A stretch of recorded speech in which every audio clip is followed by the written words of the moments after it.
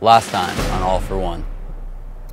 First things first, it, it, anytime you, you come back after being gone, you know, it, it takes a little bit of time to change gears.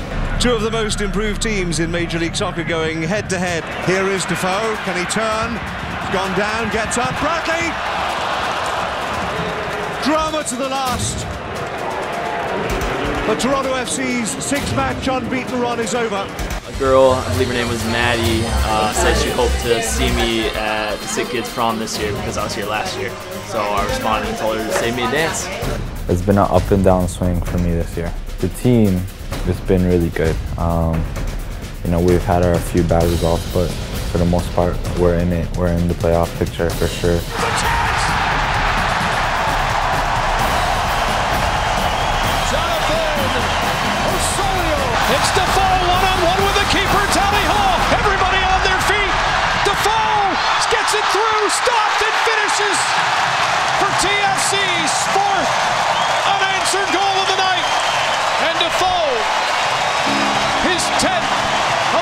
Season.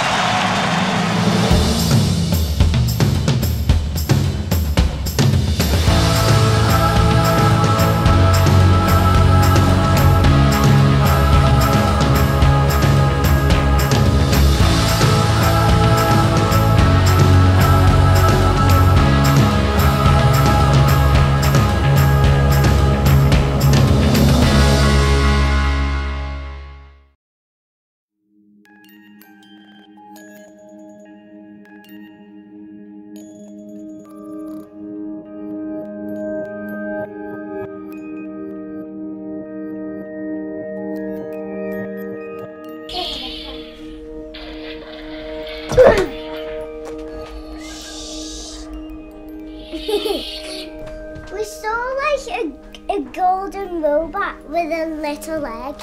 A golden robot with a little leg. and the egg like is a robot. it's because the head looks like an egg.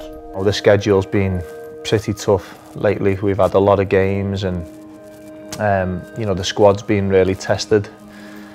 So to have a little bit of a, a day off and a little bit of a downtime to yourself and, and, and spend, to spend with your family is good. I mean, not, not only physically but mentally, it can, it can help. Better not be. Yeah, because we are. Right. Yeah. What would you be like then? Scared. You know, when things are going well, it's great, but when things are going not so well, it's nice to have, you know, two kids in my in my case who just totally take your mindset away from from football and you know as I said before if it's not going well you know the first time you see the faces it's your mentality switches and and you, you want to give them a, as much quality time as you can. Are you scared already? I'm scared son yeah. wow we keep moving we keep moving. Oh my god. Look how high it is? Oh my god. All right, let's do it.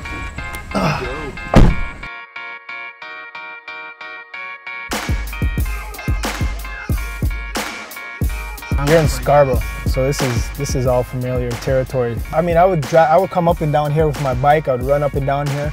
No, no, no personal drivers back then. My feet and my bike, and, and, and my dad maybe driving me, or, or, or one or two other parents. Right here, at this corner right here, Warden and Eglinton Flea Market. I used to sell mixed uh, cassettes back then. Obviously, cassettes. a lot of these people. What's cassettes? My family, I didn't come from money, so you know, and I didn't like asking my aunt that raised me at the time. My dad does work like two, three jobs for money, so I, I was very independent as a, as a young age. So I always wanted to find ways to make my own money. Sometimes, you know, not so good means, to be honest.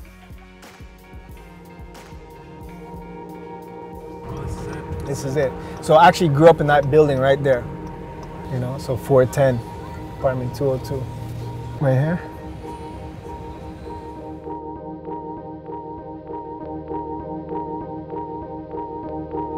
You know, when I started to, to indulge more in, in, I guess, the Rastafarian faith and, and, and mixing cassettes, I started to look at more progressive ways to make money.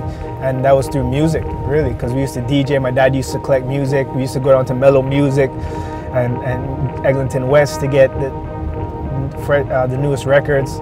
I found an outlet doing that. So me and my friends kind of got together and said, you know, let's, you know, I sell cassettes, and they were making um, knitted hats because my friend went to Trinidad and. Uh, uh, a brother of his passed on the, the, the art of crocheting to him and we tried to, to, to encourage and inspire the youths in our community to do the same instead of robbing, stealing, selling drugs because we all did that.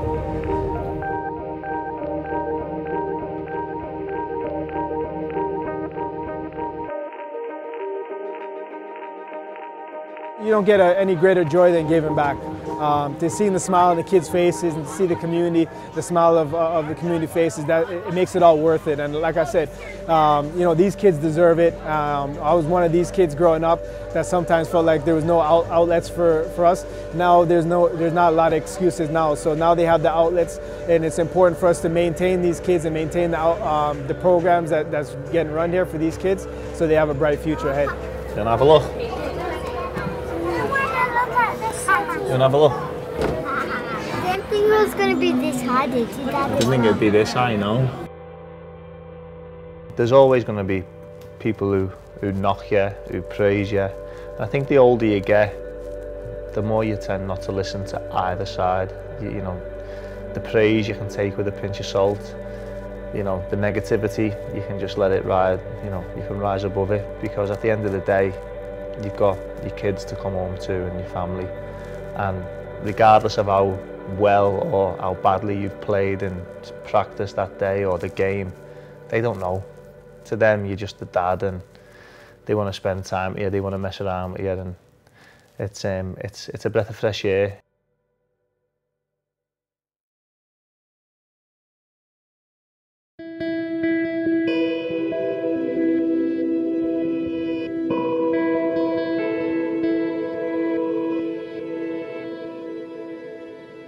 All right, Adrian, at training on Tuesday, we saw Quillan Roberts back from Wilmington, but uh, the big surprise and uh, probably uh, making a lot of people happy, especially himself, uh, being able to take part in full training uh, is Bright Dike.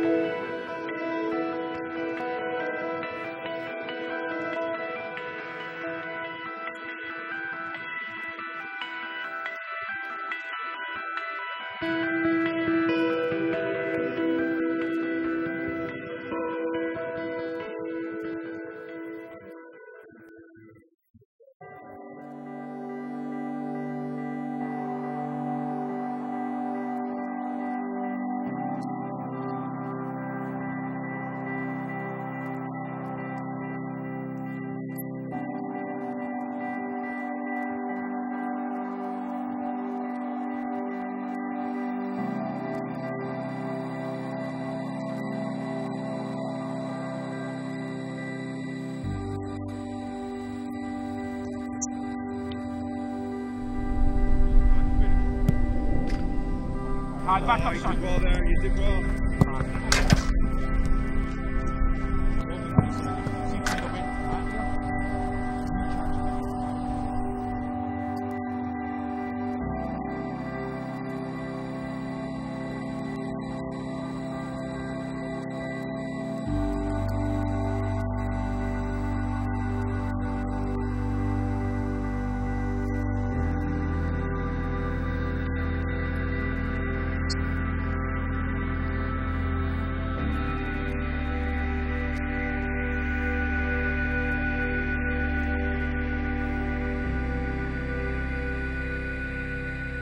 Yeah.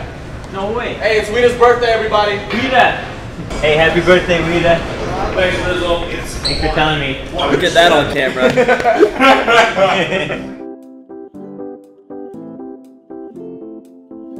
well, it's uh, Andrew Wiedeman's birthday, and we thought we'd do something special for him. Normally, they're not allowed to eat sweets, or they're not a have, they're not allowed to go outside their diet. But for their birthdays, we like to do something different for them.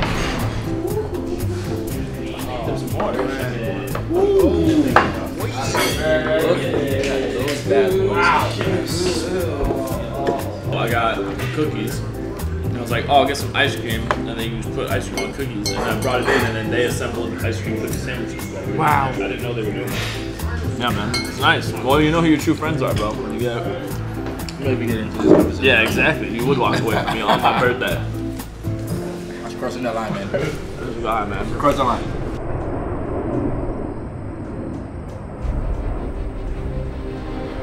Canada, and welcome to Kansas City, Kansas. Greg Sutton alongside. We're looking forward to this one because some people are thinking that should TFC make the playoffs for the very first time, this is a playoff preview. Two teams that are among the elite teams in MLS. We're underway in a game that we're looking forward to, in a game that Ryan Nelsen thinks if they come away with some points, a win or one point, they may just be able to catch Sporting KC for the conference title. Early flurry by Sporting KC, and now it's settled in now to this little chess game as they try to find the space. It falls for Feilhaber, and he tries to bust through, and they're going to point at the spot. Takes up his place. And high goes Dwyer. 1 0 Sporting KC. Goal 15. Slides it through the middle, Feilhaber. And he plays it off the referee. Where does it fall? Dwyer's there. Is he bundled down again? And for a second time in the first 32 minutes, Kansas City with now five. PK goals, make it six. Dom Dwyer. Zusi, Zizo, left foot, lets it go, and it'll ricochet off Osorio and go for another corner. They just don't give up. They just keep coming. Graham Zusi. Getting up was Moore to nod it away. Oh! What a goal! Son. Holland makes the run near post. Little flick!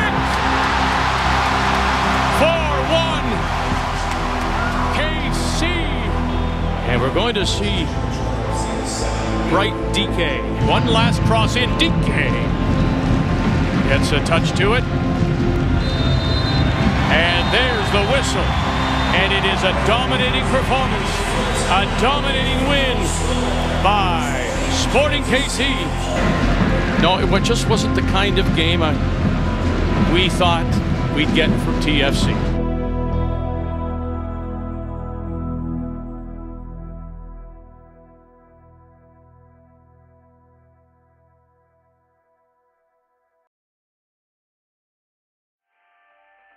Mention Gilberto with the four goals. He and Luke Moore with Jermain Defoe now missing a third straight game. This is a good sign. Well, you mentioned Gilberto's name. He has been on fire for Toronto FC with goals in each of his last three games. Well, you can always take away positives from some of these matches, and one positive for sure is Gilberto still on a roll and scoring another goal in tonight's match. I think it's important to have passion in everything you do. I mean, I'm so lucky. I wake up in the morning and I'm, I'm always happy because I'm doing what I love to do. So I love to play soccer, and when I get to the training center, I'm happy and full of passion because I get to play soccer for a living. So I'm very lucky in that sense.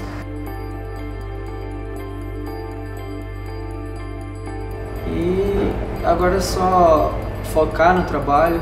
Right now, you know, I'm just focused on the work that I need to do. We're working hard to make the playoffs this year and to do well within the playoffs this year. So it's just that passion is what fuels me. It's that competitive nature and, and just working as a team and, and getting to that goal.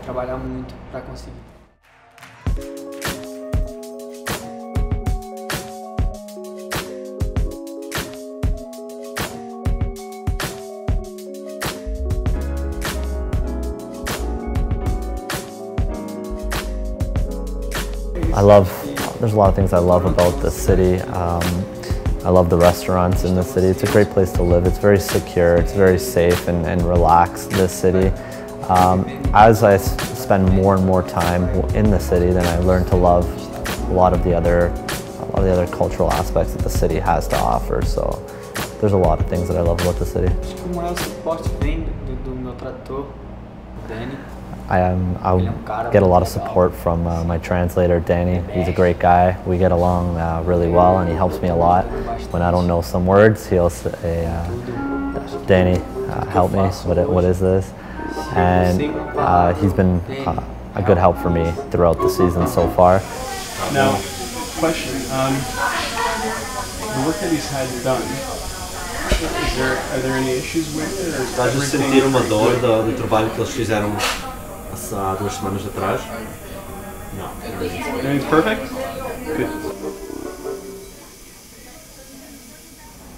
My smile's gonna get better.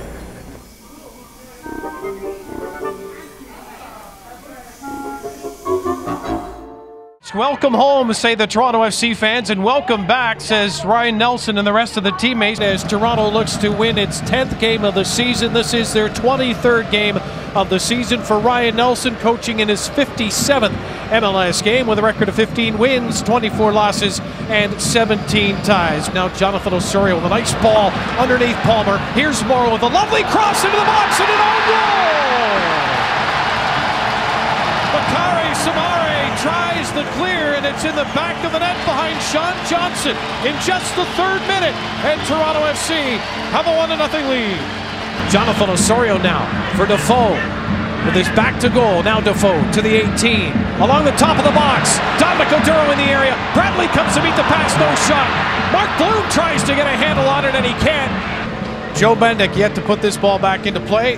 And as soon as he does, the referee's going to blow the whistle on the happenings of the first half. He's got to lift the intensity in the second half. Yeah, man. Defensive end especially. Go to him on the kicks because he's an idiot. He will flick it onto his own goalkeeper. Well, I don't know how many expected Robert Earnshaw to come back to Major League Soccer, let alone his first game back being here at BMO Field. It's a polite round of applause for the fans here. Curled in. Earnshaw ties the game. 70th minute, and Robert Earnshaw just moments coming into this match as a substitute in the second half levels it back in MLS. And here he goes. Gilberto into the box and can't get to the ball. Dominic Oduro sends it back across and it's cut off in the corner of the six before it can get into the danger area. Gilberto had so much in that tank of his, he just keeps on motoring up top. Eu não tô jogando, eu tô assistindo futebol. For me, it's a love, it's a passion. Um, when I'm not playing soccer, I'm, I'm watching it on TV. So it's it's a huge passion for me. For me, it was love at first sight. When they when they gave me the ball the first time, I just I knew what to do with it. I started playing, and you know it hasn't hasn't stopped from there. But the love affair has continued to grow. He steps up. Now Gilberto's in behind the defense. Gilberto on a breakaway. Gilberto rounds the keeper and he scores!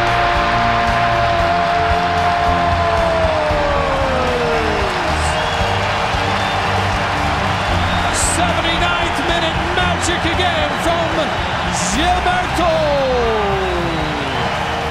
Still have a lot of desire to, to play. I still have a lot of um, desire to score more goals. Um, to be, I have, I have a lot to prove still too, a lot of work to do.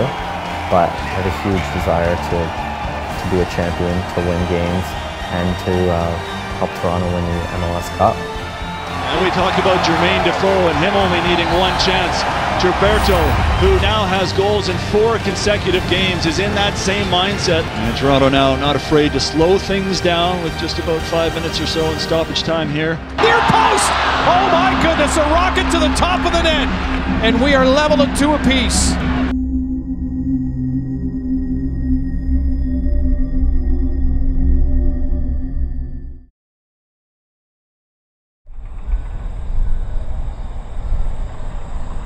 So first off, I want to thank everyone for joining me today. I know it's a it's a holiday weekend and we have a lot of places we'd rather be. So appreciate everyone's time here.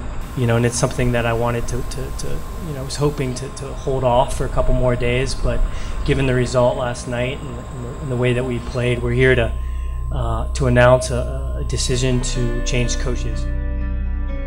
For this man, head coach Ryan Nelsen, perhaps seeing red too many times at home. His team with only one win in their last five games at home.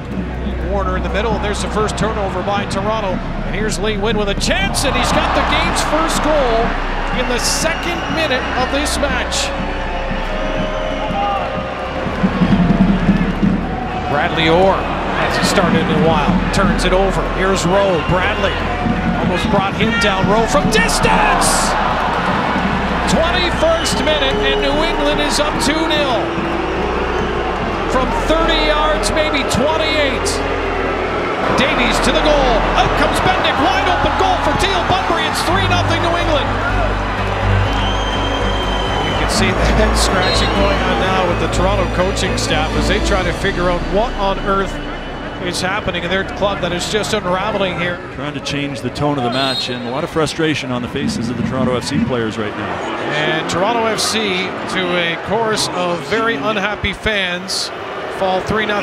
This game was over, let's be honest, based on what we saw the rest of the night after that goal scored in the second minute. Toronto never did get on the rail.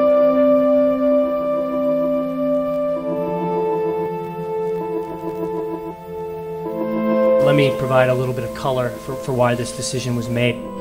Um, you know, we're in a results oriented business, and uh, over the past 13 matches, we've won three games. But more importantly, for our fans uh, in Toronto, we've won one game in the past six matches. And um, you know, thinking about our locker room and knowing our guys, I know we can. I know we can get get get more out of this group of guys. We have some really great characters. We have some leaders. We have uh, exceptional talent internationally um, through MLS experience as well as you know TFC and some local Canadian homegrown talent. So I'm really excited about the, the direction we can go um, under Greg's helm and with the players uh, that we have in the locker room right now. Um, I, I couldn't be more, um, I guess, I guess, excited about the plan and purpose that Greg has for our players. I think you know, in some sense, we've lacked a bit of purpose, um, both you know, offensively and defensively, and I think that's something that Greg can provide.